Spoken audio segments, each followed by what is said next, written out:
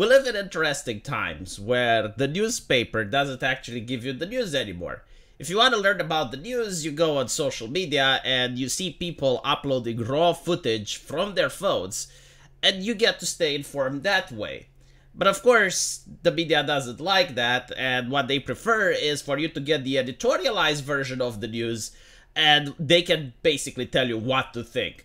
Uh, more likely, like what's appropriate to think. Like, if you don't think this way, you may be excommunicated by your group of progressive friends. And it's very telling, like, what they want people to do. Like, for example, the New York Times is suggesting that we need to get rid of voting in order to protect democracy. I guess uh, it's a more uh, interesting system uh, that Germany is having right now. We need to get rid of the uh, most popular, or the second most popular party in the country, the AFD, in order to protect democracy. Like, uh, protecting democracy seems to be the ultimate goal, and disempowering the citizens seems to be the way to do it. But the New York Times uh, posted this article which was uh, so mocked, so ridiculed, that they stealthily had to change the title. So now it's called uh, The Worst People Run for Office. It's time for a better way. But again, it's the same article. Like, what they want is to get rid of voting.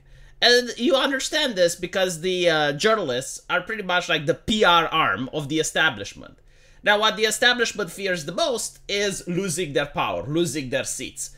And as such, they want fascismus. Like, they prefer a dictatorship. They prefer to remain in power forever. Uh, and you can even see in the rhetoric, especially in the United States, like if you vote Republican, if you vote for the other guy, the nation will collapse. Dark, dark times are ahead of us, etc., etc.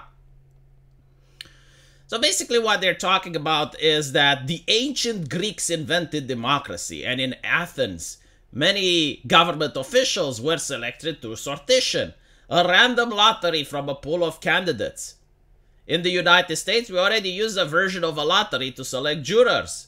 What if we did the same with mayors, legislators, justice, and even presidents? Okay, so going back to Adam and Eve in order to prove your point, uh, maybe your point isn't worth proving. First of all, it shows just how incredibly uneducated the writers for the New York Times are. The United States isn't a democracy. It's a constitutional republic. The founding fathers explain why having a democracy is evil. Because then you have like two wolves voting on what sheep to have for dinner. The sheep gets to be disempowered. This is why you have a constitutional republic. And then you also understand that the United States is not even a country in the strict sense of the word.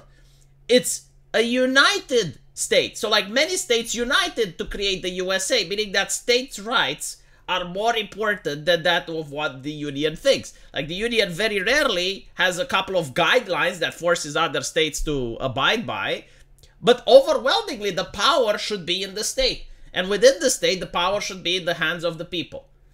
So it's interesting, right? Like they go back to Adam and Eve to say, oh, well, in Athens they did it this way.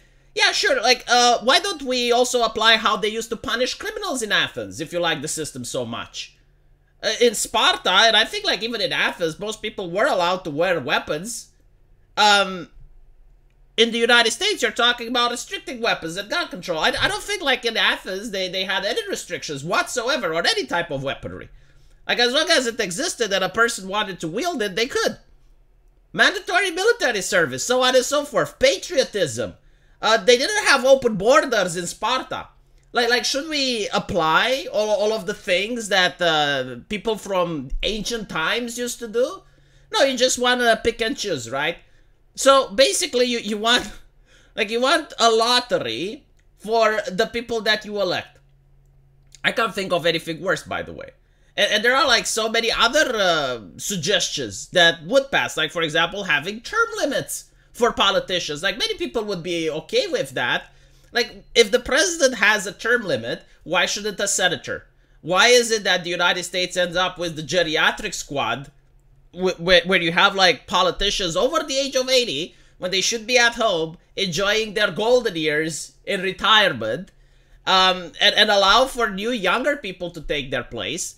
Right? Why, why don't you advocate for that? Oh, it's because the whole purpose is to protect those people is to protect those people in office, to make sure that they stay in power for as long as they humanly can, uh, and it is to try to, I suppose, prepare the public in the unlikely event that a Republican wins um, for them to, to justify why it's wrong, to justify why it's evil, even though they have been democratically elected, right? So when your side wins, you publish articles about the sanctity of our elections, you publish articles about why it's evil to even question your elections.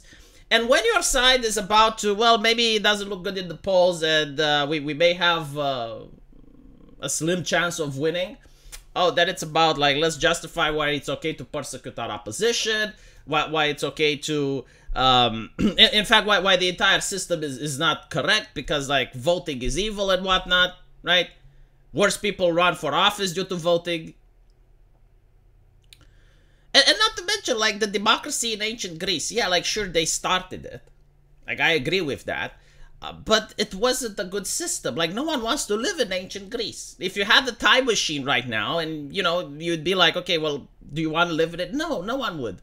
And I'm not even talking about the, the technology. Like, let's assume that the ancient Greeks would have, like, the access to modern technology and you'd enjoy all of the, uh, the things that you're enjoying today. That's not the issue. Like the, the, the actual issue is that the system was very brutal, very harsh, and it would shock most liberals today.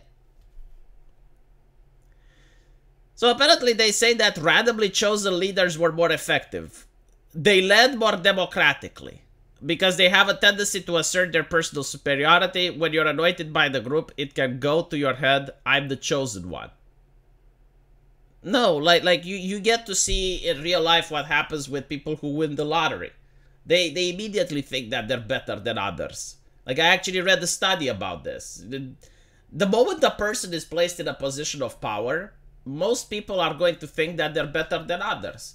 I mean, you, you can even look at this when you're playing World of Warcraft or any similar game, right? Where you're running a guild and you're managing more than one person. Or, or you're running a Discord server, even a better example. Right, so you're running a Discord server. And let's say it has like a thousand people in it. So it's a medium-sized Discord server. The moment you give moderation to someone, or, or if you're running a subreddit, the moment you made someone a mod, those people just inherently become assholes.